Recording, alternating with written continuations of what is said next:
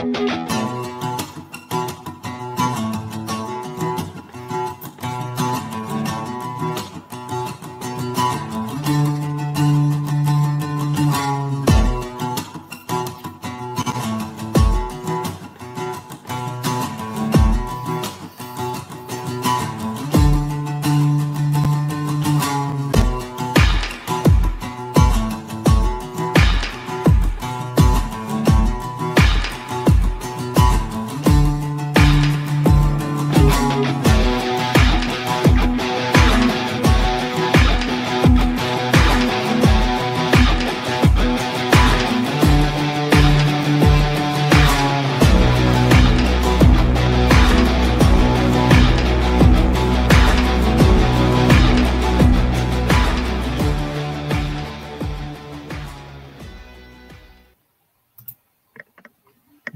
everybody.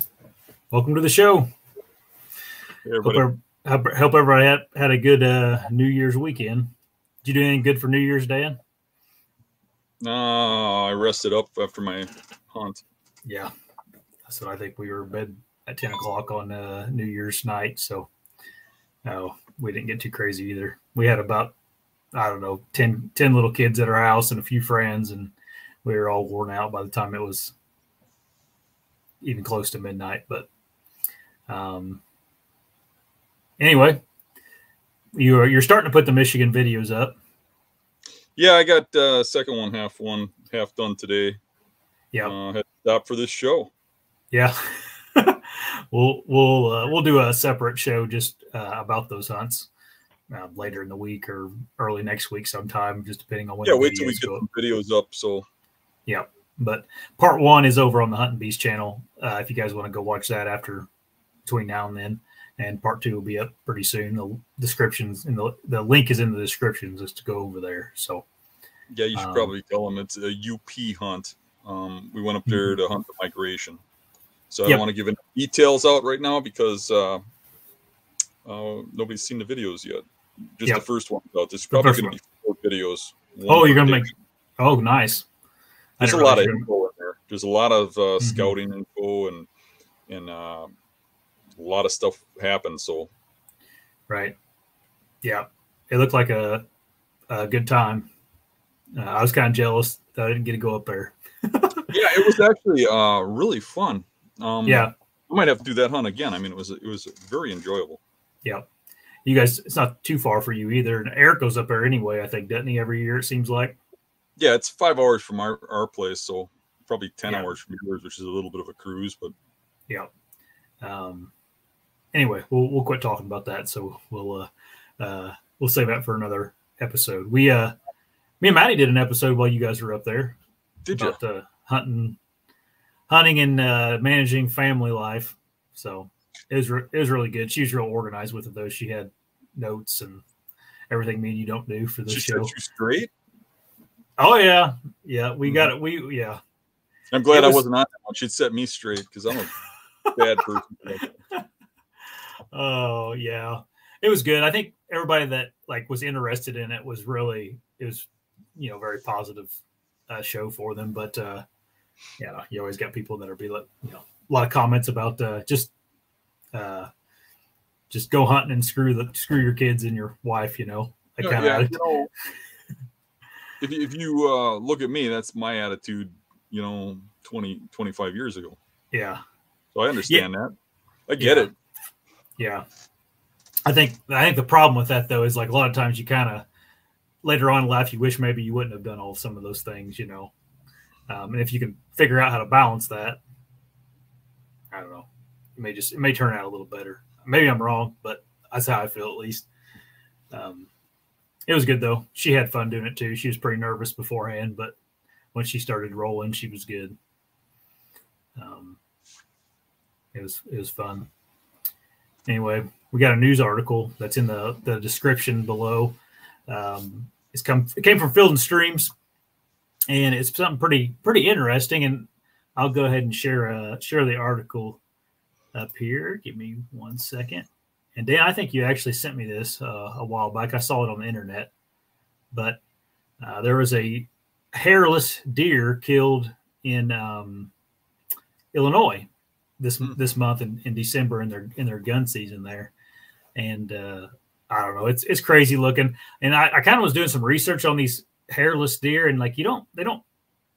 I don't know. It seemed like the last article about one was back in 2016 or something like that, and doesn't happen that often, but they do. Uh, they do show up, and they can be all kinds of things wrong with them, mange and some kind of like a a mite can get in there and cause them to do that. But they are alien looking things.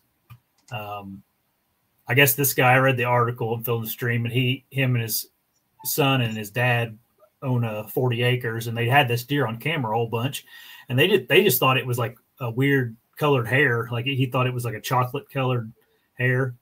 Um, in the trail cam pictures, it looked more like a you know just a real dark looking deer, and uh, he ended up shooting it during gun season. And when they walked up to it, they were like, "What the heck is this thing?" You know, and it was it's hairless. It has some hairs on its I guess its ears had hair in it on it and uh, its private parts, and then that's about it. He said. If I wouldn't have been out of town and I would have been a little more prepared, uh, a friend of mine, well, a friend from the Beast, he was yeah. a member of the Beast for quite a while. Um, can't remember his real name, but he's got a nickname, uh, Pico. Uh, he's from Missouri. I actually went down there and hunted with him for turkeys once. Um, but he shot a hairless deer in Missouri and they said it was some sort of weird disorder, and yeah. it's supposed to be incredibly rare. Yeah. And, uh, his really looked weird, weirder than the pictures you got here. I mean, it all wrinkled up. Oh yeah, there was another. Like, a lot of people that said you wouldn't want to eat that. You know. Yeah, there was another one that was from 2016, um, and it was a spike, and it looked. I mean, that thing looked an alien, and that's the last last I looked on the internet is like that's the last one that was shot at least that people said something about. You know, I don't know, maybe other people uh, have shot them before, but uh, yeah, you're right though. This one doesn't look as bad as some of the other pictures I've seen of, of deer. Um, but yeah, the guy said he almost didn't wasn't going to shoot it, um, or, or, they were contemplating shooting it because of you know it's a young deer, obviously. Mm-hmm. Uh, but then after he shot it, he's kind of glad he did. I'd say that that's pretty rough way of, uh, to go like uh, for a deer living without any hair because I mean that's winters and stuff have to be rough, you know. I mean they're naked, you know. Yeah. Um, I was reading some biologists said that most deer that uh, have this issue um, up north don't don't make it to you know the first their first cold spell and everything else, and they end up dying from it. No, uh, think about the the white deer by me. Mm-hmm just the fawns surviving from coyotes and stuff. It's a pretty hard life, you know. Oh yeah, yeah, that's true. I, matter, go ahead. Matter of fact, um, remember when I was talking about that melanistic deer over by me, the black one? Yeah, they're really rare, also. Yeah, And uh, I've been trying to see that thing, and it hasn't been coming out where I can see it. It's in a vast area, and there's couple fields it comes out in, and uh, it doesn't come into them every night. It comes into them maybe once every few weeks, and you got to be there when it comes out. Um, my buddy lives over there, and he keeps telling me when he sees it because he drives by there daily every evening. Yeah, and uh, he got a picture of it, but it's a it's a bad picture um, with his phone from all the way across the field of it standing with a albino deer. Really? Man, would I like to get video footage of that? Yeah, was, that's cool. All three kinds: a brown one, a black one, and a white one. and if they can get all all together just fine, I mean, I think we can get ours, you know, our lives uh, okay with. Uh, yeah, yeah, yeah. All the different colors of people, right? Yeah, you think so? I have heard. I have heard that uh, sometimes, like the uh, I don't know, albino deer, like some of the other deer will actually like abandon it. Have you ever heard that before? No, I haven't seen nothing like that either. They just hmm. seem to all get along just fine. Really? Yeah. Mm-hmm. Uh, I don't. I can't remember. I was reading. Uh, I see reading, quite a bit of them. I don't know if you saw the uh, pictures that uh, Wyatt posted recently, but yes, like a group had, of them. Yeah, because he he's right out by me, and he he was hunting right in uh, the area that's got all the white deer. And what did he have? Like four of them in one picture. Yeah. Marching in a uh, line past his camera. It was a pretty yeah, cool. I'll I'll get on Facebook right now and and I think that'll be a good picture to show everybody. Um, that he Wyatt's the one, the uh, barber that went with you, right? Yeah, he was with me in uh, uh, Michigan hunt. Yep. Yeah, I'll find that picture real quick. I can't remember what that. Um, I just cannot remember the the article I was reading about albino deer and getting um like kind of being the outcast of a of a herd whenever they're maybe around you there's enough of them where it's not weird, but I don't know about that. I just think yeah. that uh, a lot of people think they're an expert, you know. Yeah, maybe so. Here's those pictures that uh, they sent. You can see the there's four of them there at least. You know, I see a lot of cool. here in this area, so I would think that uh, um, I see a lot of interaction with other deer. I, I, would imagine the person who wrote this article, how many white deer does he see? Right, right, probably so, and maybe I am making this up or something too. I don't know. I'm not an expert. I just play one on a yeah, yeah. YouTube show. anyway, those pictures are cool that they got though. That's awesome. Could you imagine flipping through a camera and finding that where all them deer are all together like that? Mm-hmm. Yeah, yeah. You know, uh, uh, while I'm doing the video editing, I asked uh, the barber boys for some pictures of their bucks and stuff. You should see some of the stuff they've shot. Yeah, wow. Yeah. If you flip through their Facebook page, there's a lot of good, good yeah. bucks on there. Yeah, I got to spend a little more time on their YouTube page. I just don't watch videos very often. I'm just so busy. Yeah, I'm the same way. I don't hardly watch any hunting content anymore. If anybody wants a good uh, YouTube channel to check out other than uh, ours, check theirs out. It's Grounded Hunting. Mm-hmm.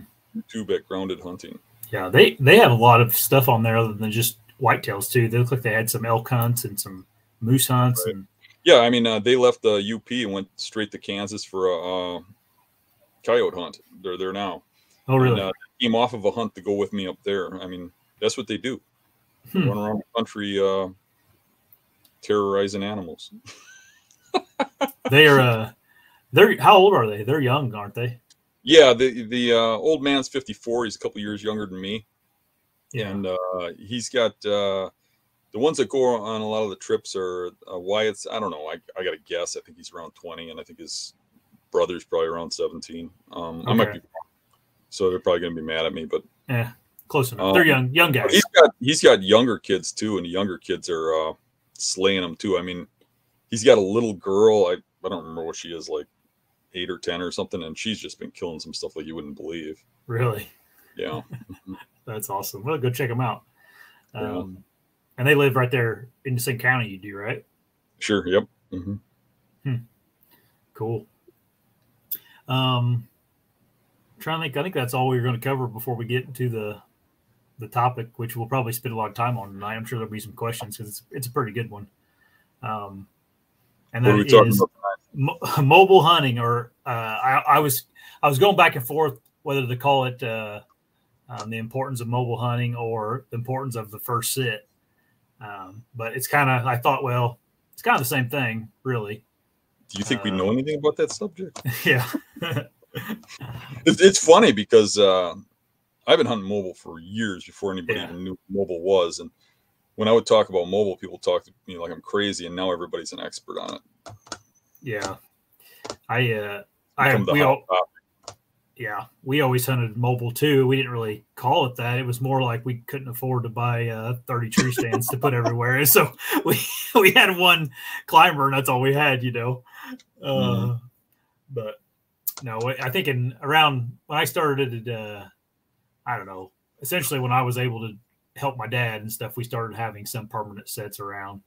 Uh, but for the most part, we killed deer out of climbers whenever I was younger. Mm. Um, I was kind of uh, I got to thinking about this topic and I got to like kind of figuring up bucks and I think all the out of all the bucks I've killed, which is around around 28, I've only killed all but two. All but two have been killed on like the first sit. Mm-hmm. Um, and I would That's encourage, you. yeah, I would encourage anybody like think about your bucks that you've killed, and I almost mm-hmm. guarantee they were on the first set if I had to guess. Well, not necessarily, but the biggest ones. You, you know, like not, not mine. All of mine have been well, okay, but uh, yeah. uh, you, you know, when I look back, I mean, I've killed a lot of, you know, average nice deer. You know, like like Pope and Young, but just you know, like 125 yeah. to maybe 140. Yeah, I've killed a lot of those off of multiple sits or whatever. But as soon as I get into that next age class, the deer that I've gotten that are like five or older, almost all of those first yeah. sit. either first sit or first sit for the year, and it's spots that you hardly ever hunt. Matter mm-hmm. of fact, I would say that the the very biggest deer I get are usually in some crazy spot where you wouldn't regularly hunt or you wouldn't even think to hunt, and you're only there because of that buck, because they find some niche where nobody goes. Right. Right. What do you consider a first set? Is it like a first set in an area or like the first like the, the tree? Like uh I would you know that's kind of a hard question to answer because I would say that eh, the first sit in an area, but the size of an area is hard to dictate. Yeah. I mean, you can be 100 yards over and be in a whole different area to me. It's one spot, and another spot 100 yards over is uh, educating a deer that you're there. Yeah. Um, yeah. But I will say that the uh, closer you get on previous hunts, the less likely you're going to kill that buck. Right. I don't know. I'd have to I'd have to rethink about everything if I was going to like just do areas. I was kind of thinking like trees. Like I I probably killed some deer where I've jumped around in an area. Um, you know, you know, a lot of times, like like what I'm thinking when you're saying that is a lot of times I will go and I will purposely go in from a way where I come up against a fence or a tree line where the deer aren't really using my side of the fence or tree line.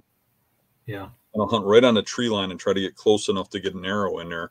And those deer don't seem to know they've been hunted. And then you can literally make another move as long as they don't walk over and smell where you've been.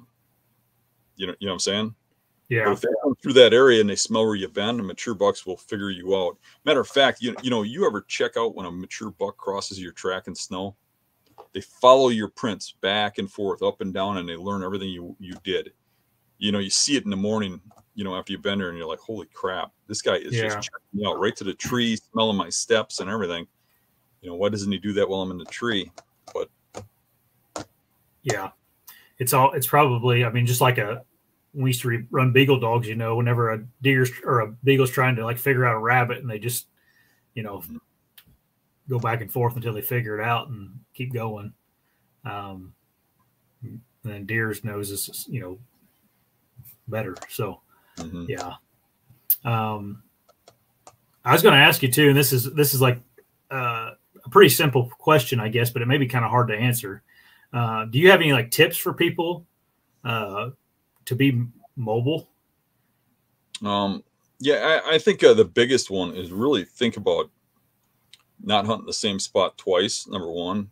Mm-hmm. Number two is to um, really think outside the box and jump around and cover an area. So um, some of my best outcomes in mobile hunting have been when I know a big buck is in an area and I can't kill him. I can't see him. I'm not. I don't know what's going on, but he's there. I know he's in this section, right? Yeah.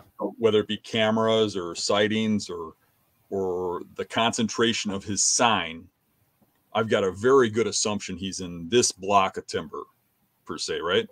Maybe it's uh, 200 acres, maybe it's 100 acres. But what I do is I'll hunt that area down. So your average guy will hunt the stuff that looks like a deer should be in it, and he'll go to that stuff. He'll go to the, you know, you know the the deery areas, where I would be more inclined to try to figure out what's overlooked. I would be inclined to say, okay, what is it in this area where nobody's going? And that's where I would start. Um, and if it ain't working, I just keep moving. So I'll literally cordon down a, a, an area. Say you got a 40, that could be you, you know like uh, eight five acre spots. Yeah. So in eight days, I could hunt that down and know every inch of it, right? Yeah. But I'm going to do it in a manner. I'm going to think about what I'm doing. I'm not going to just go in there and one, two, three, four, five, six, seven, eight, right, and hunt it yeah. in sections. I'm going to think about well, okay, which section today is right for the wind, um, which sections are right, and which ones are most likely where I think he's going to be there based on you, you know lack of human intrusion, but still having enough cover or uh, typical uh, deer terrain that he'd want to be there. Right. One, you know, you hunt on a five acres, uh, you're going to know if that buck's in there, or you're going to know if he's moved through there. So I will just keep hitting those spots, and I'm going to go in there from the you know wind to nose if I don't know the area very well, and slide in there and try to find a spot where I do as little damage as possible, but get into a killing position. I do want to say in mobile hunting that the key to success is to be in the kill tree the first set. Yeah. You don't want to be just off and then make a move after you see them. Now, that might go contrary to some things I've said about observing and stuff. If you can observe, that's a whole different story because then you're going in a spot where you really don't think you have a chance to shoot them. Maybe you do, maybe you don't if you're on the other side of a fence or whatever. But your big objective is to see, right? Yeah. So you, you could do that or you can move in for the kill, but it's one or the other. You don't want to. Um, um, what, How do people say that? They uh, want to hunt their way in and go in slow and stuff like that. Well, I hunt my way in, but I don't go in slow and I don't go in with a lack of aggression because as soon as you slap that buck on the rear and you say, I'm hunting you, yeah, try and kill him. Yeah. You want to catch him completely and totally oblivious that you exist. You want him going through his daily routine where he thinks he owns that little area. Nobody goes in here, nobody bothers me, and he just comes waltzing out and he gets an arrow through his heart. That's how you want to kill him. Once he knows he's being hunted, it gets very difficult. That doesn't mean you can't kill him once he knows he's being hunted. It just becomes a lot more difficult. Right. Yeah, have, people that uh, like we talk about observation sets from time to time, and you have to like you have to commit to them. Like you have to be like, I'm okay with sitting here and not, you know, I'm not probably not going to kill that a deer tonight. You know that, mm-hmm. and that's hard. Especially new hunters, you know, that's hard to do. Like is to to burn a evening. Um, you know, I may have to do it. Like I'm going to Illinois this week, and I've never been there, don't know nothing about the place probably my best bet starting off is probably doing, you know, if I, there's no snow on the ground or anything over there, you know, I, I may have to do an observation set the first night or two and, and figure out what the deer are doing, you know. Um, mm-hmm. But if I kind of, like you said, dilly daddle into an area where I'm observation sitting, but I'm also affecting deer movement, that's not really an mm-hmm. observation set anymore. It's more of a, you know, halfway what halfway uh, hunt or you know right so i'm i'm like just now in the in my hunting career whatever you want to say just now figuring out observation sets and like the importance of them um, and doing them correctly and not not getting too anxious to like i know i still want to be in an area where i can shoot him you know but uh anyway something else I, I go ahead go ahead you go ahead you go ahead well, I was just going to, I had a tip written down uh, about mobile hunting is um, something else is like try to keep it simple. Man, anymore, I shouldn't say anymore. I think humans have been like this forever, but like some people make it so complicated with gear and stuff that they have. And, uh, you know, I don't know. I just, just if you have um, more than a few things on your body or on your person, at some some point in time, some of that stuff's doing more harm than good. Um, I, I still to this day I hunt with people that show up with a giant backpack full of crap. Yeah, and you tell them you really need to reduce that uh, that down to what's what goes in your pockets, and they'll tell you, "But I use everything in the backpack." So you well, yeah, yeah, um, and I'm like, like I'm okay if you have a backpack and stuff, but man, you really got to have it. Uh, if you want to say organized or really have a system that's efficient for you. Uh, I have a really good system, and what my system is is I got pockets, and each pocket has a mm-hmm. thing in it. Yeah, and it always goes back in that pocket, and that way I always have it on the next hunt. Yeah, and you use so that literally, um, when I'm hunting mobile, I have a yeah. I have a little clippers, I have a, uh, you know, when I say a rope, it's really more of a string just to pull my bow up. Yeah. I have my standing sticks and a camera arm on my back. If I have a jacket, then it's warm. The jacket's rolled up and on my back. Mm. Um, but uh, some milkweed in the pocket, a uh, clippers. If I'm in the Northwoods, I have a compass. Yep. I have a small, tiny flashlight with me. Um, I got a pocket knife in my knife in my pocket usually, but I don't really need one. I need a knife if I kill one. Mm-hmm. I don't need a knife to kill one. It's not like the old days. right, right. But uh, uh, I have very little with me. I'm a minimalist, and uh, I go out there to kill deer. And uh, I mean, to me, it's a chess game. It's a. It's not about you, know. Um, am I going to rattle? Am I going to snort, wheeze them? Am I going to grunt them? Am I going to do this? I'm just out there to um, catch that deer by surprise, not to fool him, not to trick him, but to get in his line of travel and cut him off and kill him. Yep. That's the way I hunt. And uh, there are, you know, there are people that are very successful at calling and all that stuff.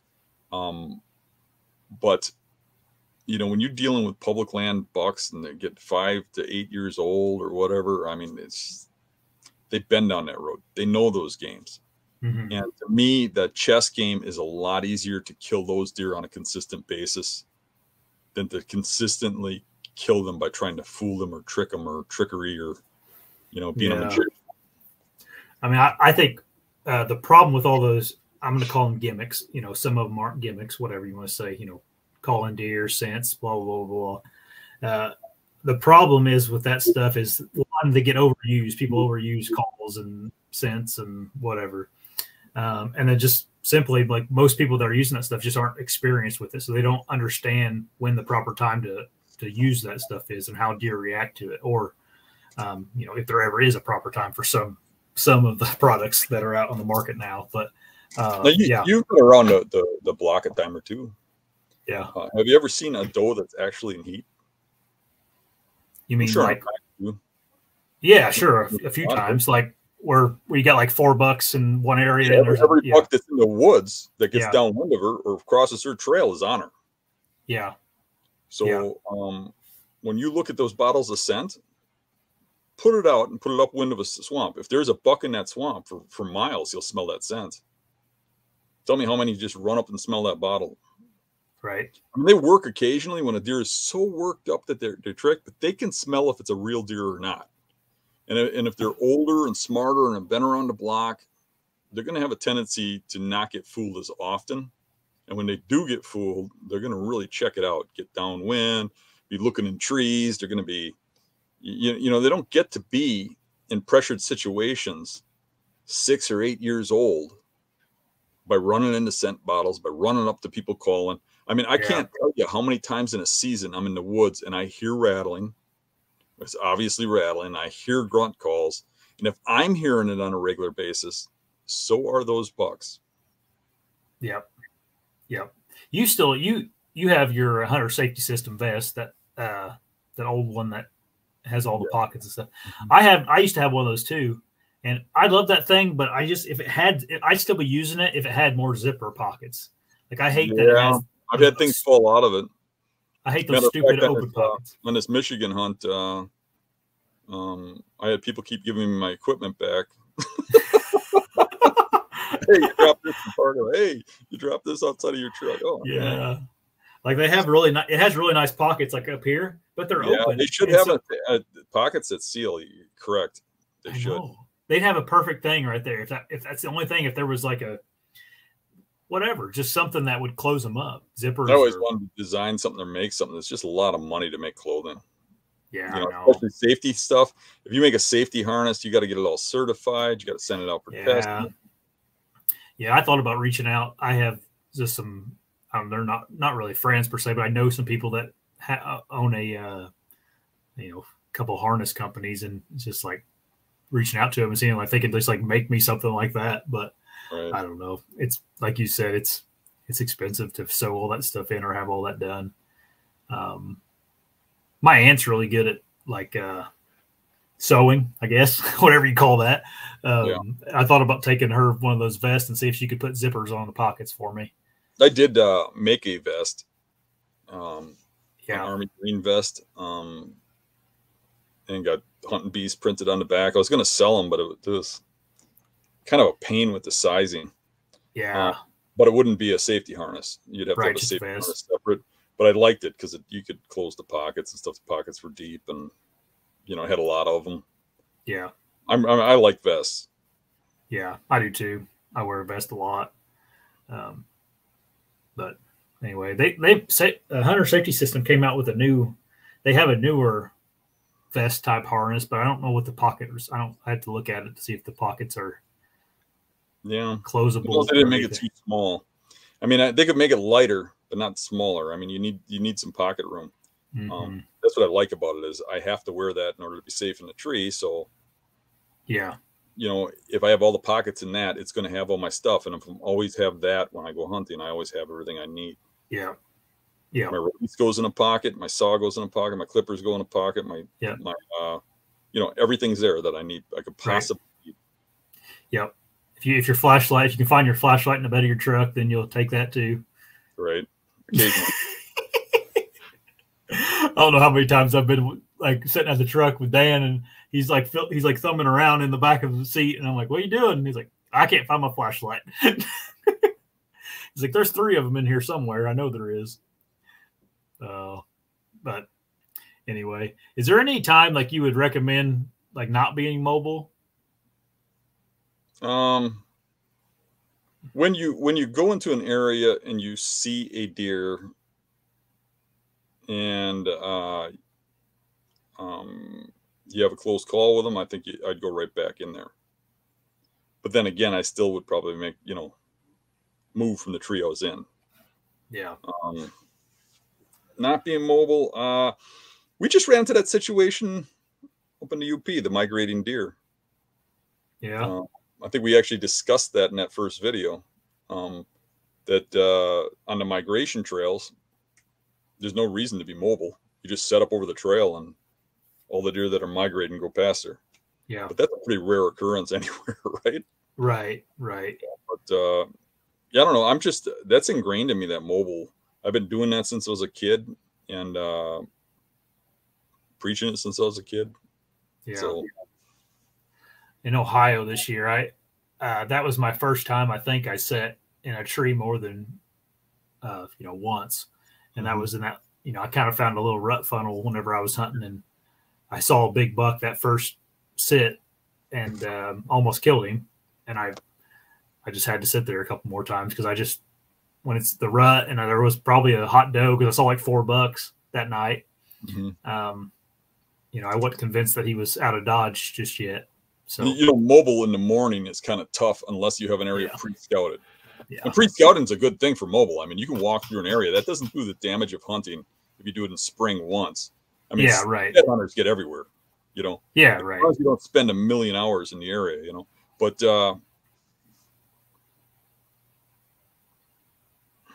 I lost my train of thought there. It's all right. Happens to me more than you you would think sitting here. um, something else is like uh, turkey hunters go everywhere too. I mean, a lot of people go places turkey hunting that you wouldn't think think of too. Um, you don't have to really worry about hauling a deer out turkey hunting. At least here in the hills in Indiana, people people get in pretty. You know, if there's a turkey gobbling way out in the hills, there's a decent chance someone will go that far turkey hunt. I know what I was going to say. I was going to say that uh, when you go into a spot in the evening, it's a good spot, and you're on a on a trip or you're hunting mobile in an area. Yeah. A lot of times that uh, um, I'll just go back to that same spot in the morning now that I know that that's set up and it's a sp- good spot, and there's a good chance the next morning that deer still hasn't come through there yet. Yeah. You know, as long as you don't wait a week or something for them to come through and smell you've been there. But the right, very next right. morning, because I usually don't have very good morning spots that you just go in and hunt mobile mm-hmm. because you you go in there in the dark, you really can't see the limbs and stuff. And um, gray light, a lot of times you're doing more damage than you're doing good because you're chasing the deer out of an area.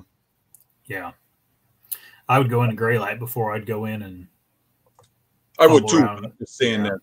Right, it's still not ideal. No. Right. Yeah. So that's I mean, what I mean, if I find a good evening spot and nothing happens, but I still think it was a good spot, I might go right back there in the morning. Yeah. That's what that's what I was doing in Ohio. I just was finding the spots I felt like were, you know, good spots, and I just hunt them again in the morning because I knew I was in the right Especially spot. What, what spots yeah. usually right more funnelish, and they're yeah. not as much of uh, where they come in one way, go out another way, but they're more funnelish. Mm-hmm. Right. Yeah. That is tough, though. I mean, I'm always like, I'm, when I'm on hunting trips, I'm always, I always want to be in the woods, you know, but mm-hmm. it's just morning just suck. I just I just found myself uh, on a lot of trips where I really haven't pre-scouted. I find it a yeah. lot better to just spend my morning scouting and getting onto something for the evening, and then I have great evening hunts. And then yeah. along the way, if I see something that looks halfway decent, that I, you know, I, I, I think it's it's a good spot, I might still give it a try in the morning, even though I walk there just because I've only been in there once. Right. Yeah. Yeah. I don't, I don't know. Have you had much luck? Uh, like you, you set up midday very, very often at all? Not too often. Yeah, I haven't either. I mean, some people swear by midday movement sometimes. Depends on where just, you're at. I mean, around me, I don't see much movement in midday. Period. Yeah. You know, occasionally you do, um, but just coming back from the UP, those deer move all day long. Really? Oh yeah, all day, and they have to because if you think about it, this time of winter, you know, up there and, and all that snow and stuff, they um they have very little food, but they're all, healthy looking deer. Well, how do they get healthy looking? They got to feed all day and night. Mm. They're just spot bedding and stuff, and I think they move more in day to get away from wolves and stuff. You know. Yeah but they're just constantly feeding when they're just nipping the ends off of little buds off of plants and stuff and that's all they have or they're eating cedar leaves and stuff they got to feed a lot so they're eating all day long you know we're down here they got a lot of food and they can just pile eat and then uh, bed down and you know yeah something else i wanted to mention as far as like mobile hunting is i know we got some people that listen that are just like private land hunters and that's it's just as important on private land to be to be mobile.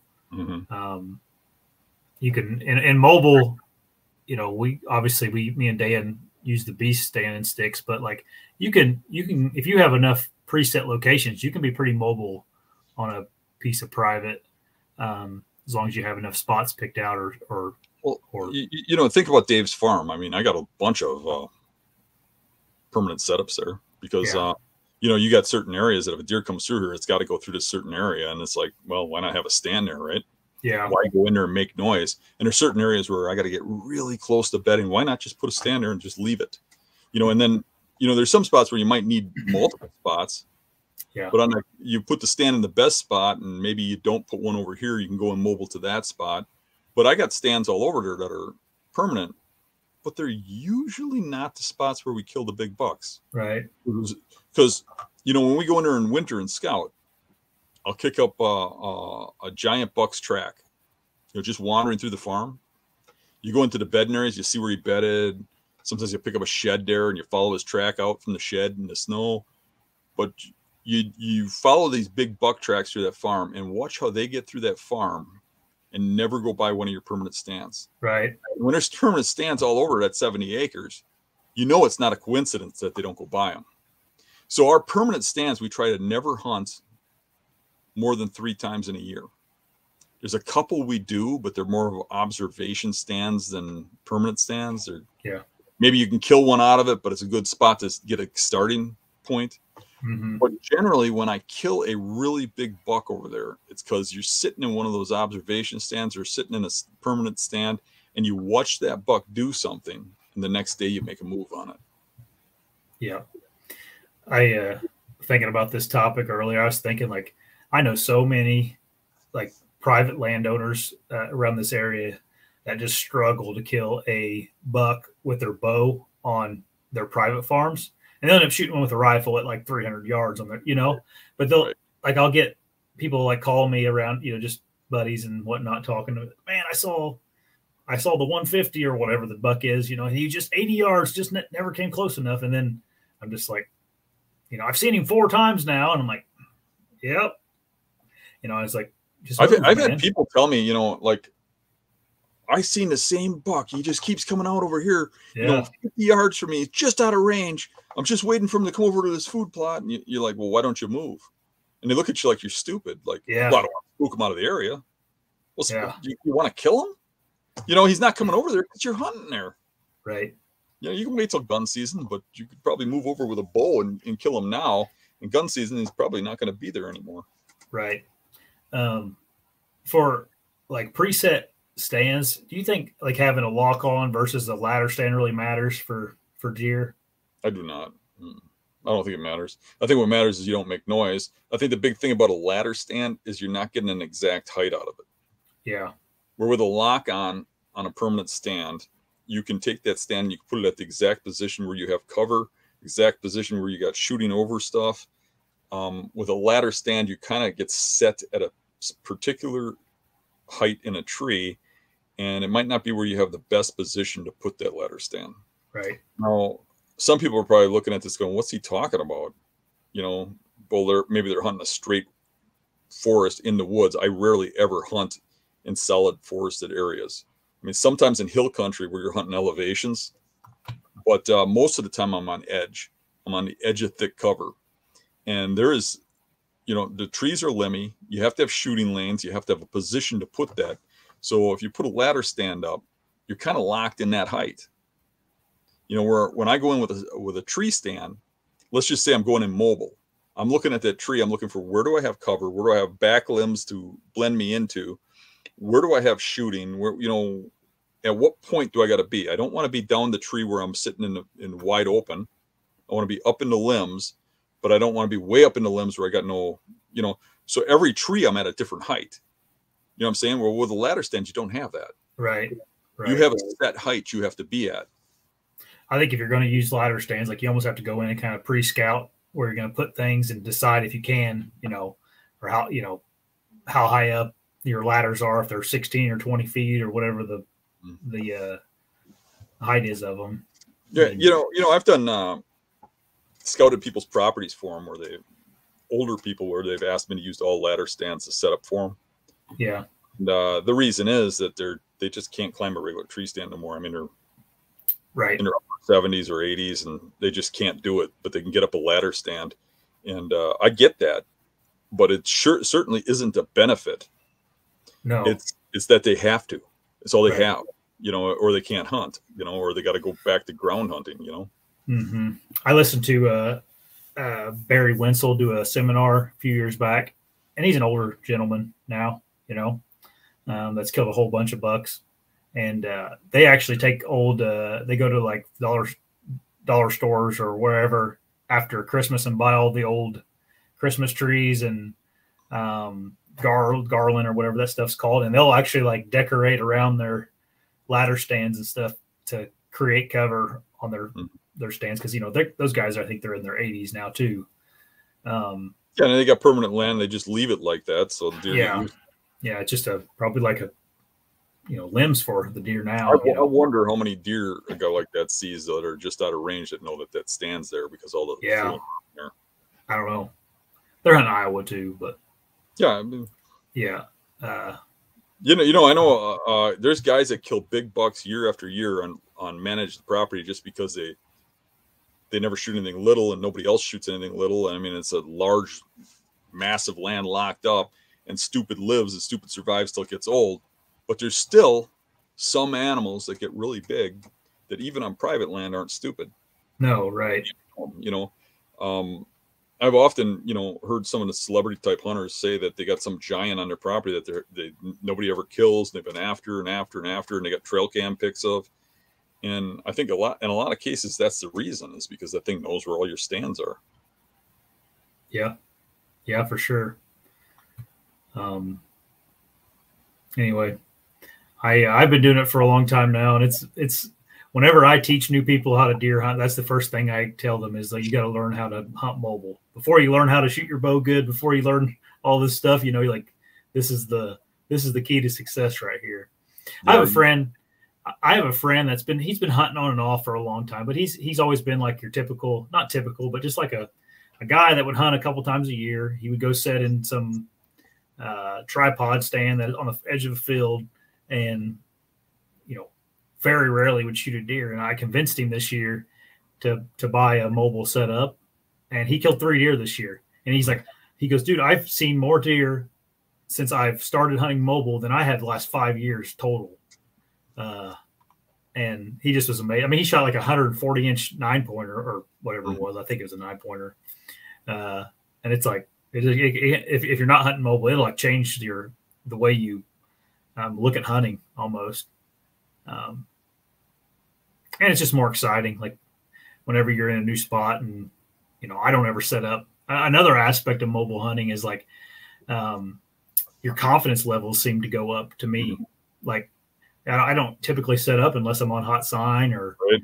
um, any of that kind of stuff. So whenever I'm sitting there, I'm like almost on pins and needles the whole sit, just like it's going to happen tonight because of these reasons. Um, and you don't get that whenever you just go set the same four or five stands every. Well, when, every if sit. you um, if you hunt rotating through stands, I mean, there's guys that'll put five stands out. There's guys that'll put ten out. Mm-hmm. Maybe them and a partner rotate through them based on the wind and stuff. They'll be like hunt stand the the the drop tine stand, hunt the the food plot stand, yeah. hunt this, you know based on the wind, right?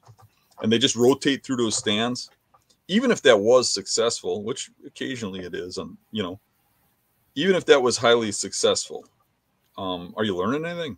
Are you just yeah. rotating through the same stands? Are you are you um, hunting deer or are you hunting a stand?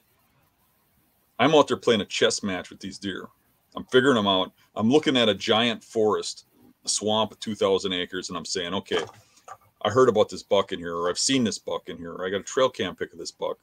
Where do I believe he's bedding? How do I believe he's moving? Where do I think he's going? How do I think he's coming out? And I go and I hunt that deer down. And when you kill a deer because you guessed where he was going to be bed on a certain day based on the wind, based on the terrain, and you go and you set up in the only tree that you could possibly kill him out of in daylight, and you watch that deer get out of the bed that you thought he'd be in just based on using your brain, and he comes in and you kill him, uh, even if it's a, a, a 120 incher, it might as well be the biggest Boone and Crockett in the world because yeah. the amount of pride you get out of doing that, and and it's it might sound funny to some of the people watching this, but until you've done it, um, don't knock it. You know, when you go out there and you put it all together and it happens on the exact animal you want, out of the exact tree you think he's going to go by, something special. Yeah. And it's addicting. I mean, I, I don't want to do it any other way. Yep. Matter of fact, I mean, up in Michigan, uh, we're we're seeing deer bedded and stuff where we could probably sneak up on them in that heavy snow and just kill them. Yeah. I didn't want to do it. That's not. I don't want to do that. Yeah. It doesn't sound fun to me. Or to some people, that's their thing my thing is that chess game. You know, it's that outsmarting them kind of thing. Whether I get something big or I don't is another story, but at least I'm in the game. I'm in the yeah. chase. You know. Yeah, and figuring out how to hunt mobile too, like it opens up so much more opportunity for you. I mean, um, you know, a lot of people are afraid to go on public because they don't really. I mean, they don't know how to use a mobile setup, or or um, they're intimidated by it, and like, uh, so they just go hunt their private 20 acres, you know, and and that's all they hunt because they don't they don't know any different. Um, but if you can just figure out, you know, that that type of hunting, it's like your your, your options are unlimited. I mean, as long as you live in an area where there's public land, you know. Mm-hmm. Um, anyway, and it's a key. It's a, in my opinion, it's a, uh, you know, I don't have access to enough private land to uh, not burn it out for as much as I hunt, you know. So, um, it's not really an option for me. I have to hunt mobilely on all the public land around here I run around on. So, all right, we've been on here for almost an hour. You want to do some questions, or do you sure. have anything else to add to the mobile hunting? No, let's see what the questions are. All right, let's see here. Chris Brown, he asked, he has a 20 acres of hilly timber area with only one access point. He says, I get busted quite a bit because they can see me entry, see the entry from the next ridge. He said, Did you have any any uh, tips on sneaking in there? I'd probably um, um, wait for a very windy day. They can't see you very far on windy days because of uh, foliage moving around. Mm-hmm. Um, otherwise, uh, hunt more mornings so that they're not there watching you, getting there for the whole day. Yeah, that's a that's a good tip. I don't know if a guy could go in there like this winter and try to make some path or something somewhere where you could be a little more hidden going in. I, that's that's rough whenever you only have that that 20 acres isn't very big. Um, if there's if they got a vantage point, it's, it's tough. Try parking down the road. Maybe there's you know hearing you close your doors and stuff. Um, Going in really early helps too. Um, I think deer are kind of lethargic in midday. Mm-hmm. And if you just walk through and you you don't try sneaking, they don't like sneaking. They they know you're sneaking when you sneak. If you just walk in there like you own the place, and then get around to where they can't see you and set up, and uh, amount of time goes by, they kind of forget about you. Yeah. Yep. It is crazy how whenever you uh when a deer sees you from a ways off, if you just keep walking real fast, like they almost don't even they just sit there and watch you, you know. Whereas if you I've start deer, like I've, I've had big bucks. You walk by and out of your peripheral, you see them bedded, you know, 20 yards from you. yeah. And if you don't stop and make eye contact, they just lay there and let you pass. Oh yeah. That's not every deer. Some of them No. will jump up when you're 100 yards away and take off. You know, Yeah. depending on uh, what life lessons they have learned over their time. Some of them have learned that just hunkering down is better for them, and some of them have learned that uh, getting out of dodge is a good idea. But um, um, there are a lot of deer that will just let you just walk past. And I've actually had some deer where I've walked past them at a few yards. Yeah. And I, I think probably everybody listening to this, if you're an avid hunter, has at one time or another been walking through the woods, stopped, and all of a sudden a buck jumps up right beside him and takes Yeah. off. Well, if you stopped, you wouldn't have took off. Yep. Happened, happened to me this year. Um, Hunter has a question for you, Dan. He says, Is there a chance of designing a 300 pound hunting beast stand for us big guys? Yeah, there's a chance of that. I, I was uh, working on that. It's just a slow ride. I got a lot of stuff going. Would you mind like explaining to people like what that testing entails? Like what, how, how people get those ratings or what you had to Well, pass to um, have a 300 pound stand? Well, uh, you have to have uh, 600 pounds of static weight on the platform to have a uh, in a 10 by 10 square um, position right between the cables in order for it to uh, pass for 300 pounds. So they literally they'll put weight on until it destroys, and it's got to be more than 600 pounds, right? So that's how I test them, and that's how basically they test them in the independent testing places. And then uh, the seat has to be time and a half, so it would be uh, the seat has to hold 450 pounds. That's why you never want to stand on a seat Yeah. because seats aren't rated for standing on them. Yeah. but uh, they're not rated to the same weight as the the platform. Um, so uh, you, you you know if you test it correctly, you'll. Uh, uh, they don't do this in all testing facilities, but we do it. Uh, we put side weight on it. We put weight in different positions on it, where they don't actually do that in regular testing facilities. But um, I do. I do when I test them. I just want to make sure that there um, there isn't a weak point or something. But Right. Yeah. It's pretty interesting. Does does tree stand companies are, are you required to do those testing or is that just like a absolutely not. Mm-mm. okay. You're not required to, but if you get um, if you want to be TMA certified, you, you need that. But in, in my idea, uh, TMA means the Tree Stand Mafia Association. Um, and the reason I say that is because what it is basically, they they take the leaders in the um, tree stand industry, and and what what the leaders are is anybody willing to pay the money to be a member, and you want Yeah. to be a member because then they hold you in high standing and they tell everybody you got great tree stands, but literally you're the one making the rules. So you got tree stand manufacturers making the rules. And what I notice is a lot of them, you, you know, like uh, my competitors will pay to be in there, and then they'll make rules so that uh, for me to get certified, um, a long stick won't work because they don't have a long stick. So they don't want mine to be in there. So they just make a rule like that because they're all tree stand manufacturers. The Tree Stand Manufacturers Association is really a group of uh, Italian mobsters that uh, uh, have decided that they can use that uh, to stop other people from manufacturing tree stands. I don't think it's got a lot to do with safety anymore. really? I shouldn't say all that because they're going to get mad at me, but it's true. Yeah. When when they have meetings and they have guys in the meetings from the different groups that paid their way in so that they'd have a say, It's pretty weird. is to stop people from designing things in a certain way. Yeah, Tree Stand Mafia Association. You But- think they should just like but- have like go ahead. Sorry. The but is, um, without them, we'd be we'd be a lot more dangerous in this industry. Yeah. So there are some basic rules in there, like the testing uh, weight wise and the static weight and stuff, but I don't even think they test good enough. I think they should be putting they, they should be doing it in different ways, like like I kind of do when I'm making stuff. But anywho, um, it is safer because of the the it has gone through that that testing. Testing. Yeah. Sorry to get y'all fired up about that. I'm not fired up. I just don't. it just is what it is, right? I mean, I'm I'm opinionated. Yeah. uh, all right. Someone asked if we are done hunting. What about you, Dan? Hunting never ends. Right. It's I'm like, not either. It's like when uh when I got my butt kicked it when I was a kid, and and uh, I told my old man it, it's over. I'm, I'm done with this. And he says it's never over. Finish it.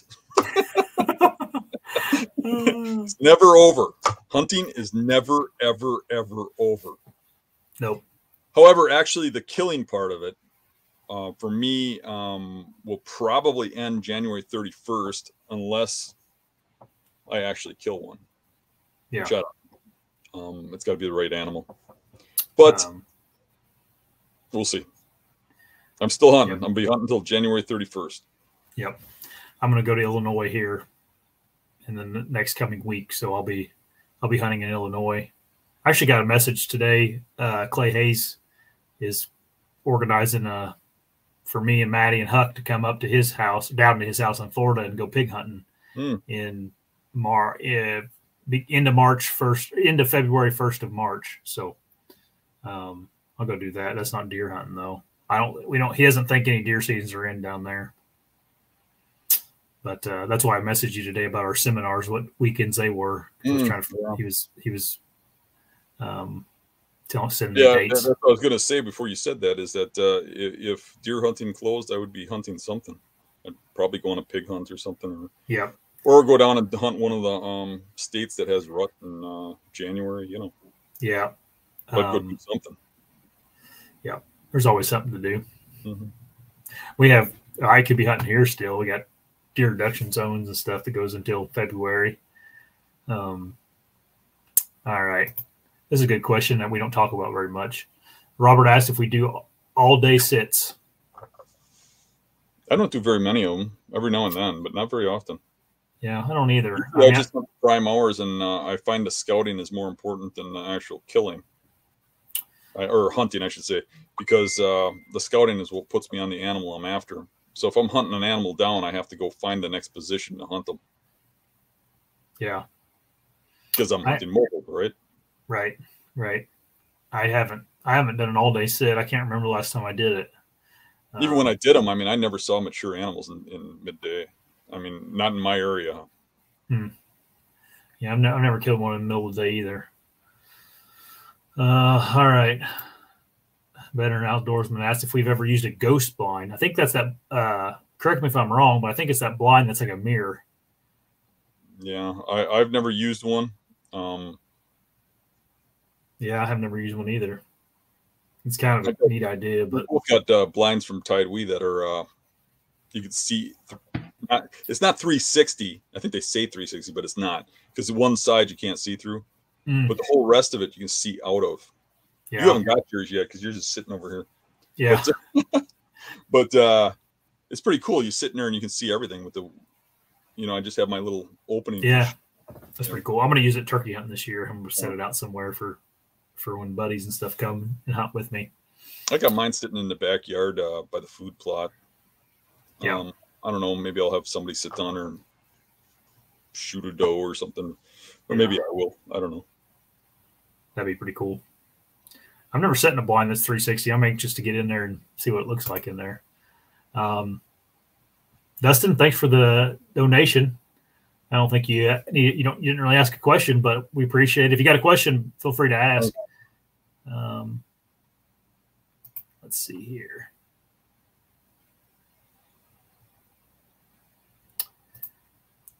He uh, the true hunter he asked if we ever gave up a spot because of pressure. All the time yep all quite time. often quite often. It's i can think of way, man it's public land. Anybody can hunt wherever they want.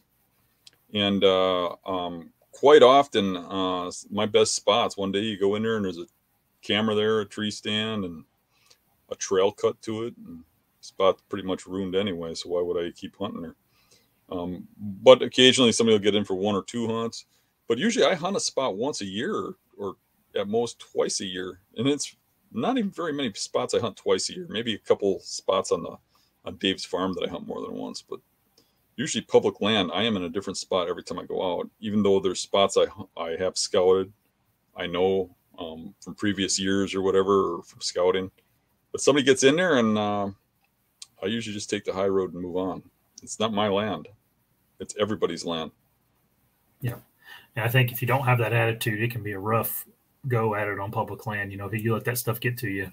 You, you know that destroys a lot of people um, that are YouTubers or, or well-known hunters. Um, um, I can think somebody in my group who quit because of it, but yeah, you get uh, you start putting up films and people start actually watching your videos and trying to figure out where you hunted, and they a lot of times they figure it out and they get in your spots and they your spot is no longer your spot.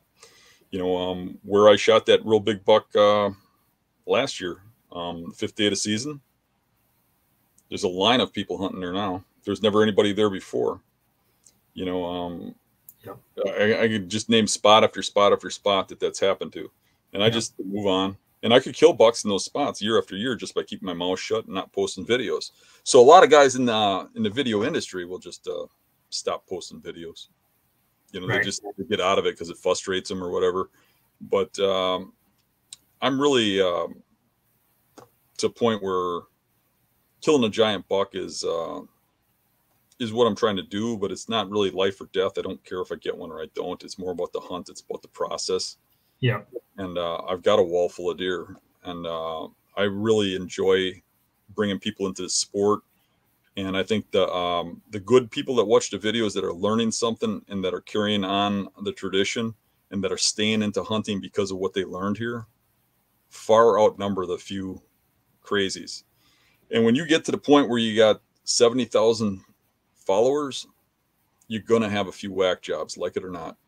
Yeah you uh, i don't i don't think you care me mentioning this but didn't someone find your arrow you shot that buck with last year and like bring it to your house or something? Yeah. Yeah. Yeah that's that spot. Um i hunted there. I uh found that bedding i mean i showed it on video. I found the bedding i i realized it's got to be that big buck. I realized it had to be in september. I, there was only one possible tree you could get in and it was a bush. Mm-hmm. and it was an invasive species book bush, buckthorn, so you can cut limbs. I had to cut a hole to shoot out of that. I literally had to cut a hole to put the stand on and to shoot out of it because it's just, just a bush. And I had a shooting lane in two directions. That tree had never, ever, ever been hunted out of before. Um, when I shot that buck, I got a message from a local kid who said that he'd been hunting that spot for years and that it's a great spot and he, I'll probably see him there sometime. And uh, then he sent me a message and said uh, that he went back there. It had bothered him that I didn't find my arrow, so he found it for me. And I had shot into, I mean, some crazy brush and cattails. Yeah. I shot through that deer, and I looked and looked, and we couldn't find that arrow. That kid literally had to dig up all the grass to find that arrow and set it on my uh, mailbox. I mean, is what yeah. it is. He's probably listening now. Yeah. If you are, thanks for returning the arrow, man. Uh, here's a question. Everybody else that's hunting that spot now too. Yeah. How did the Raptor Mini platform come about, and whose idea was that? Your guys' the Raptor platform. platform, the one that goes on the top of the sticks. Yeah. Yeah. Um, that was uh, hundred uh, percent Mario's idea. Um, yeah, they, he they probably don't even know what it's called. designing that a long time ago, like right when the stand came out. Yeah. And uh, um, he took so much time designing it that other people came up with similar things, but um, he literally had, and who knows, they might have been designing it when we were designing ours because it was the, the uh, logical direction to go. Um, but uh, that was totally Mario's idea. I'm not big into uh, uh, saddle hunting, um, right? Obviously, um, but I do have some ideas for a saddle platform that I think will be revolutionary. I just got to get to it. Yeah. Just uh Yep. Yep, yep, yep. Okay. Um, before we get to this question, some people were asking about the weight limit on the beast stand. It's 275 still, right, Dan? Yeah, it actually uh, passed all the um, ratings for 300. Um, but uh, at the time, we decided that uh, we didn't want to push um, 300 pound men being that high in a tree in a small platform. Yeah. Um, we might have that. Um, we might redo it. I don't know if we will or not. Um, just because all our competitors are bragging that there's a 300 and ours not, but ours actually does rate for 300. We just could, put 275 on it. Yeah, you could legally put 300 on the marketing stuff then, just didn't. Um, anyway, all right. Someone asks, what started our mobile hunting, pressure or big bucks? Pressure or big bucks? He's asking like, what what what made us start hunting mobile? Um, just getting getting more action, getting more bucks, uh, more deer. Period. Um, getting on them, uh, moving to the deer instead of letting them come to me. Um, I always uh, had a lot more success hunting in that manner, and literally, um, actually, neither of his answers are the right ones because literally, I grew up without mentors, so I went out hunting and I put stands up and out of two by fours and you know when I was a, a kid, not even a teenager really, and uh, just went out and just chased deer around with a bow on the ground and stuff because I didn't have a mentor. I didn't have nobody teaching me how to hunt. And times were different back then. It wasn't like everybody was hunting and everybody's telling you how to hunt and stuff. I mean, old timers would tell you to sit on a chair and smoke a cigarette and uh, right. be quiet and sit in the same spot all the time. You, you know, there wasn't really a lot of logic in hunting. So I just went out on my own. My dad didn't hunt. My brothers were off in Vietnam. And I just went out hunting. And I learned real quick that if you sat over by food and stuff, you'd watch these deer come out of what looked like bedding, and it would take them forever to get to you. So the logical step was to move closer. And uh, the closer I got, the better my hunts were. And then uh, when big deer started showing up where I was hunting, which really was outside the norm because back in those days there's so much pressure and so many people killed deer to survive and to live off of that deer didn't really grow big. Mm-hmm. So when big deer showed up in my area, I started learning after learning that I had to be close to bedding. I started studying the bedding and spring scouting, winter scouting, something that nobody did back in those days, you know. And I learned where they bedded and how they bedded, and then went back and went after them in those spots. And when I saw how well that paid off, that just transformed the way I hunt. That's really, um, I've been doing this from almost day one. You know, I mean, I started in a couple two by four stands and stuff, but you started learning really quick to move to the deer because I didn't have anybody teaching me bad habits, basically. Mm-hmm. Yeah. You just did what naturally came to you, like what made sense, probably. Right. You know? I, I really believe that if other people didn't have their father, their uncle, their, you know, their neighbors and everybody else mentoring them in a certain direction, I would think most people would end up doing that because it just makes common sense. I mean, you, mm-hmm. where do the deer come from? Where, do, where are they in daylight? where are deer when it's light out, and what time do you shoot them? You shoot them when it's light out. Mm-hmm. Right. Animals. Yep. Someone on here said that they uh, are friends with a guy that works at Hunter Safety System. They'll ask about zippered pockets for us. Cool. There you go. uh, Tyler Welch asked, he has a 200 plus acre swamp with dogwood, cattails, and tamaracks. He says tons of deer tracks, heavy trails, and droppings, but very few rubs or other buck sign. He's like, how do you go about hunting it the first season? Uh, I'm probably going to say that you're going to be able to see tracks.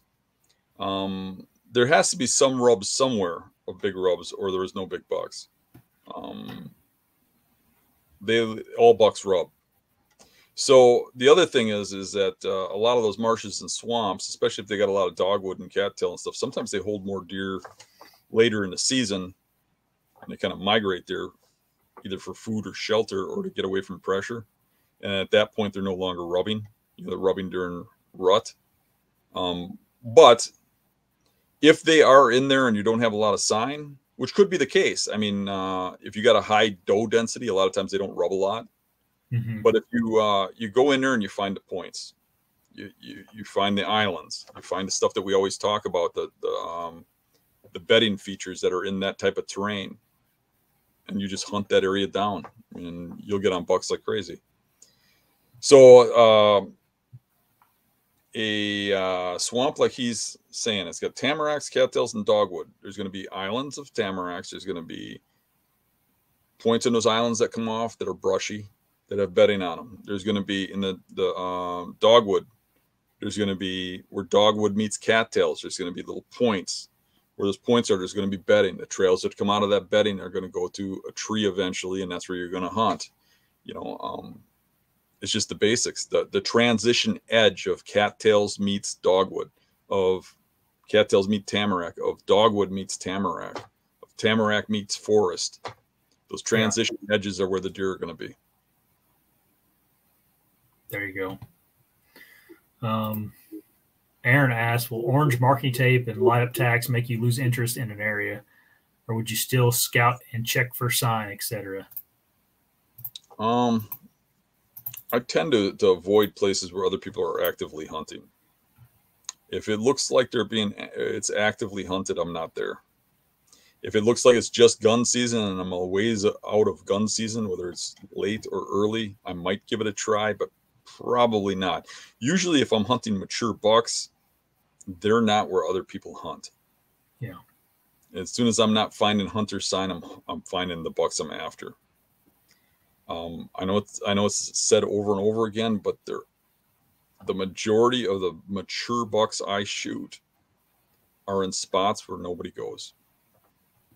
You take a look at the forest and you say, okay, 10% of this is where nobody goes. Mark off the other 90% where you think people go. And that 10% where you think nobody goes, find deer terrain in there. Mm-hmm. And that's where your big bucks are going to be.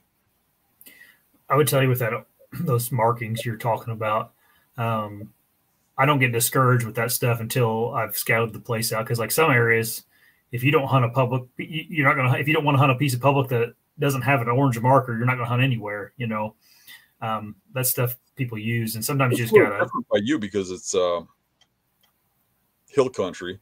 I yeah. mean, you get into most of that stuff, but I still look for the overlooked stuff. Yeah, that's what I meant. It's like stuff that's yeah, just because you like walk out of the parking lot and find a tack in the tree, I, you know, that doesn't mean you shouldn't go and and hunt that area. Oh, I, I was thinking you were saying that you should hunt, you could you hunt most spots that have tacks and flags right where you hunt. No, no, I just meant like don't don't get out of your truck and walk into the woods and see a flag and be like ah, screw this. Well, you know, it, it drives me nuts when people say if there's a car in a parking lot they go past. I mean, you're talking about a place that's like hundreds of acres. Yeah, or thousands. Yeah. Yeah. I mean, one yeah. guy is not discouraging me. Yeah. I'm sometimes bad about that. But it may be a product of where I'm from too, because we don't have as many hunters mm. as you guys do.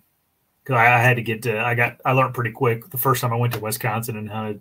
Uh, yeah, well, you you get rut where I'm at, and every yeah. have ten cars in it. Yeah. Uh, Gary, I went up there and hunted with him. And there is gun season.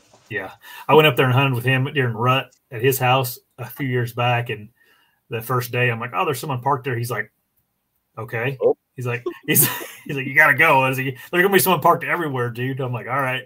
So, uh, I get that. Zeke asked if anybody uses a drone for scouting. Zeke, that's illegal in a lot of states. So, um, yeah, I think I think we can use it to look, but it can't be used. Um, for hunting. I don't know exactly. I'd have to read the exact law. I don't yeah. use one. Um, yeah. I have one. I, I can't even drive it. I yeah, it's off the ground and I crash. Yeah, I have one that I use for filming, but I've never never scouted with it. I, t- I, I used one. Uh, I it was after I shot that doe. I I used it, but I uh, I where I shot my doe the other uh, a few weeks ago. Um, they they came out there whatever a few nights later. I took my drone and flew over and you could see the deer out in the field again. It was kind of a cool shot, but I wasn't really for scouting. I just was wanting to get a cool shot of the, the deer out there. Yeah, literally, uh, you could you could fly those over bedding areas here in the cattails, and you could see every deer in them, and it, and it would be very yeah. unfair. Yeah, I'm sure yeah, people are doing it. Yeah, I think it's illegal in uh, awful lot of states. It's illegal here. Mm-hmm. Yeah, I know there's some really high tech ones farmers use to like uh, look at crop damage and stuff like that. Um, it's getting popular. Also, deer recovery. Um, I guess they got like infrared ones that can pick up, uh, you know, warm areas where deer's laying or whatever. So that's a good idea. I mean, that's I don't see like I don't feel like that's hurting anything to go try to find your your buck with a drone, but it's also illegal in most states. Um, is there a scenario where you guys would spot and stalk a buck? The conditions have to be perfect. I've, I've snuck up on one whitetail and killed it in uh, its bed, but it was that deer right there. But it was raining, it was windy, nasty, and he couldn't hear me moving or, you know, um, couldn't hear me sneaking in. That's the only time I've ever felt like I could get close enough to one with a bow and arrow and kill it. Yeah, I've I've uh, I've gotten a couple kind of like that, but uh, it's really not my forte. Yeah, it's not. Your I big, mean, I wouldn't, I wouldn't your biggest good. one, your biggest one you shot with a gun, didn't you? In its bed, sneaking up yeah. on it. Yeah, I crawled up to its bed with a shotgun, and you, you know what the funny part about that is? Is uh, uh, I, you know, never dreamed I could possibly do that with a bow but I crawled to 20 yards, stood up and shot it with the shotgun while it sat yeah. in its bed. So if it was a bow, it wouldn't have mattered. Yeah. Which, uh, you, you know, teaches you a lesson and you learn you could do that. I, I guess, you know, um, in that manner, if I knew where he was bedded and I, you, you know, it was a planned thing, but just to randomly kill one, I just, there's something about it that, I don't know, I would, I wouldn't have no problem with it. If I was on a road trip or something, I'd probably go do it. But I just yeah. uh, it's not something I want to do. Let's put it like that. I'm, I might do it just because I can or something, but I don't know if I'd feel great about it. Right. It's just me. I mean, I'm not knocking that for anybody else. So nobody take this as I'm putting that down. Yeah, it's I my it. style and what I like. Right. It's what I. Yeah. It's what I, I like about hunting. I like the. I like the. uh The thing that keeps me going out every day is the challenge of the chess game. Yeah. The playing one on one with a big buck and, and, hunting them down. I, you know, to some degree, I don't even take that much pride in just shooting a random buck that you didn't know was out there. Not saying I wouldn't. Right. I like hunting down a certain animal, and it's just it's fun to do. Yeah. Know?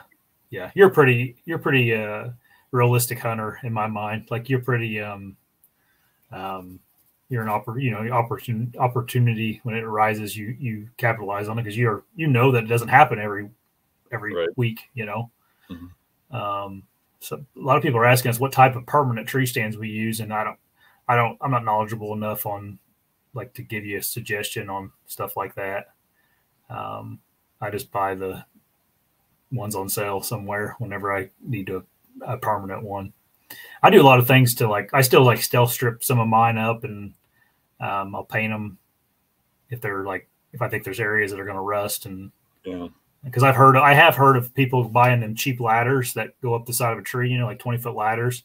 I've heard of those breaking off, like the steps breaking off. So I always like put some like truck bed liner on some of those areas that yeah tend to steel cables too on stands over time can uh, rust under the plastic and you don't see it and the cable snaps.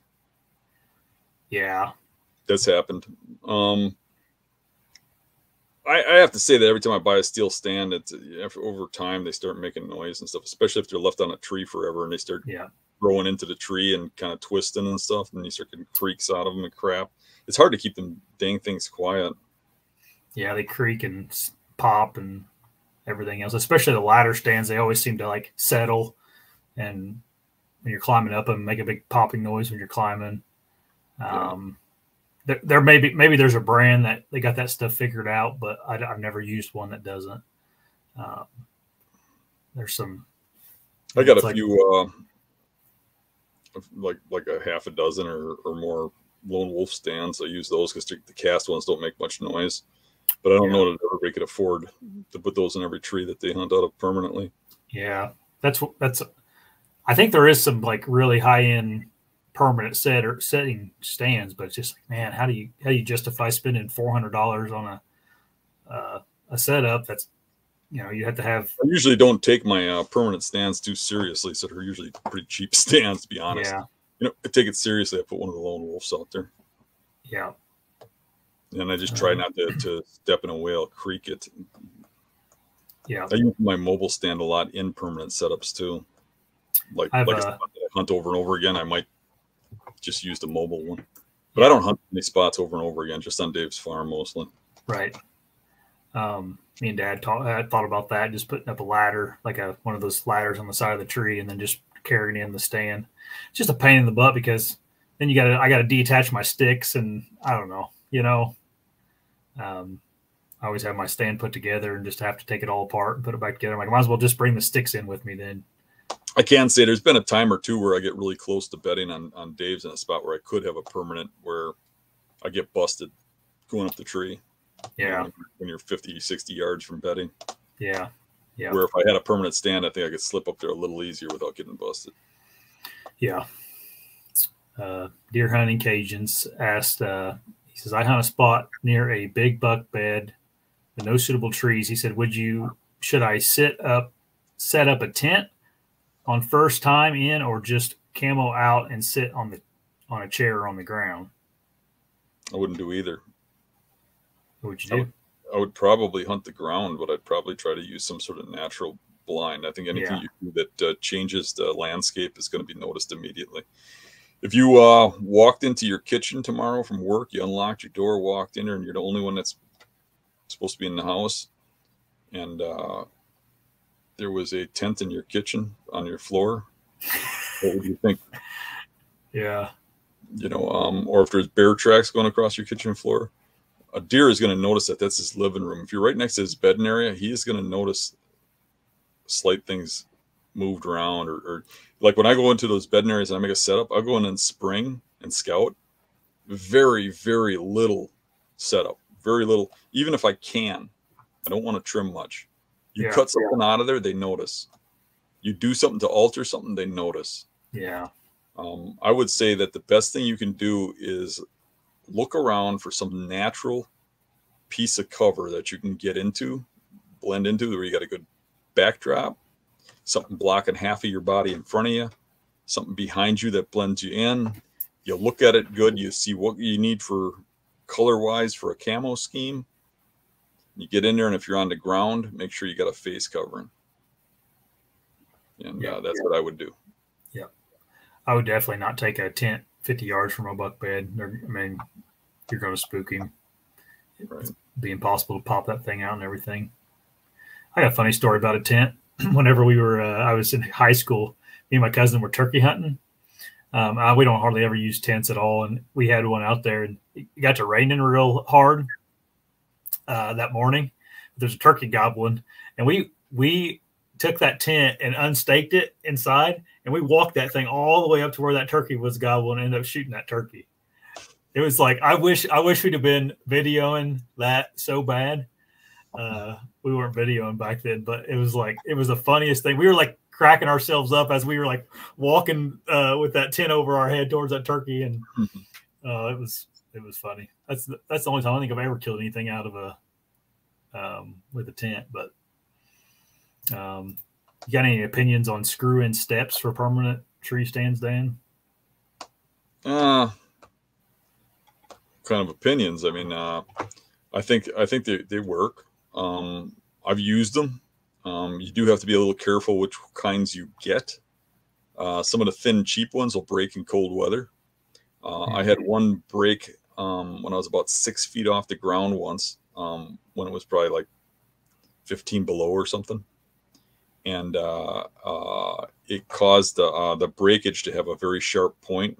And when it broke, my leg slammed down and it cut my leg open about, you know, six, eight inches long and uh, about a half inch deep. And I was bleeding pretty badly um, because that thing snapped off. Um, so you want to be careful about not using too cheap a one. Um, certain trees uh, screw steps will pop out of. Um, I mean, you probably know that it happens with dead ones, you know, the bark bark's rotten yeah. or whatever. But uh, black walnut trees, if you leave them in them, there's something that'll happen, like some sort of chemical thing around the uh, threads. It'll turn like black and rot. and uh, you won't know it, but they're in there tight when you put them in there. And a month or two later, they're they're loose, and it'll just pop out when you step on it. So, um, I mean, they can work, and in some trees they just grow in, they stay there or whatever. Um, I used them when I when I first started out, um, getting real serious about mobile. Um, gosh, that's got to be in the um, 80s. Um, I had a steel stand all taped up and stuff, and I had uh, screw steps. I put electrical tape on the handles and all the way up to the threads.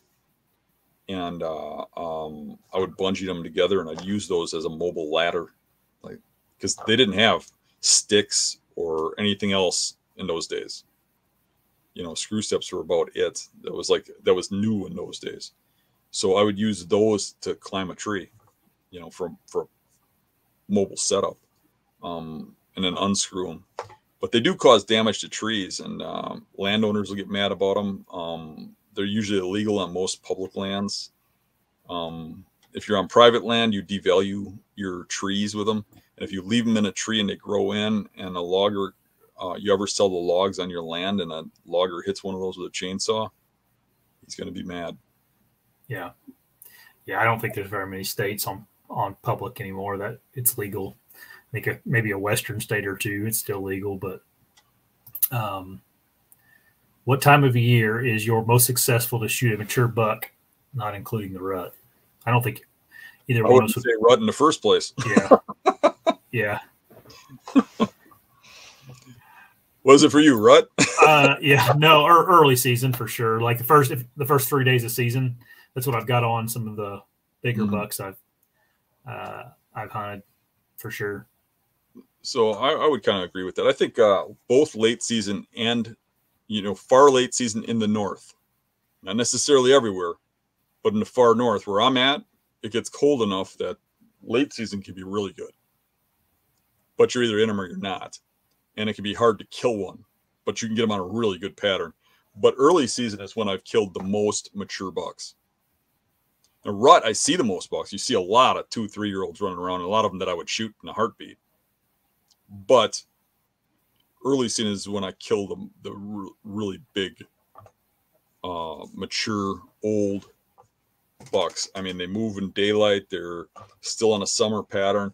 You got to remember when I say that though, we start mid September, but I would say it, that even goes into. I've had pretty good luck into about the first few days of October. I think once mm-hmm. you get mm-hmm. past that first week, it starts uh, to drop off significantly until rut. But uh, the first couple of weeks of the season are the best for me. Um, the first week of the season in, in, Wisconsin has, has been phenomenal for me. I've shot in a few mature bucks right on opening day that I've been watching. Um, yep. Bill asked if we've ever thought about uh, quit to quit filming if it took away from hunting. Well, uh, it does take away from hunting, but I wouldn't say it's good or bad. It's just different. So um, it's definitely um, altered what I kill, and uh, and it's altered uh, my success in certain ways. But it's a it's a matter of what your goals are. I mean, um, there's people film for different reasons, and people don't film for different reasons. I mean, some people that film want to be famous some some people want to help people, like myself. Um, some people, um, you know, they just want to be well known as a good hunter or something. Um, but you definitely don't do as well um, filming, and the filming also, like I said earlier, attracts um, people to hunt your spots and your areas, and they try to figure you out. Um, where just being on if you just want to kill big bucks and put them on your wall the best thing you can do is be unknown mm-hmm. and only the people you care about know about the bucks you shoot. That's the best way. But to some degree i mean if you're shooting big bucks it's because um you you kind of want to show that off. Whether you want to admit that or not it's no different than being a football star. You don't want nobody to know you're a football star or a rock star. Of course you want people to know that. So it's kind of a catch 22, but um, it doesn't cross my mind to quit. I mean, um, uh, I'd be more likely to quit hunting and keep filming, making films about hunting than I would be to quit filming and continue hunting. Yeah, yeah. Filming is it's almost like a passion for me now. Like I, I love doing it. Um, it wasn't always like that. Like I've had times in my life where I went on and off filming, you know. Um, yeah. But I grown to really enjoy that process of the hunt now. Yeah, it, it's um, it's funny because uh, I think anybody you talk to that's been doing it for a long time will tell you when they first started they want to throw their camera in a river. Yeah, I did. I mean, the very first time I ever filmed hunting, I went on a trip to to Iowa, and it wasn't the first time I filmed. It was the first time I did it seriously because I was I was filming for a TV show at the time, and I went down there and I went to a new property, and the first day I picked this spot where it, is, it looked good and a 150 inch buck comes walking out, walks right to me. I got the camera rolling and everything. And, and I tried to force the shot in the film screen and it was an easy shot. But because I was screwing around with the camera, trying to make this shot in the screen, I ended up shooting in the shoulder blade. And I was so worried about the camera, I didn't even realize I shot it in the shoulder, the shoulder blade. I thought I smoked it. And I get the can grab the camera instead of another arrow. And I filmed this thing run right underneath me and stand underneath me looking around. And then I realize it's not very hurt. And then I go for another arrow, and just as I draw, it takes off.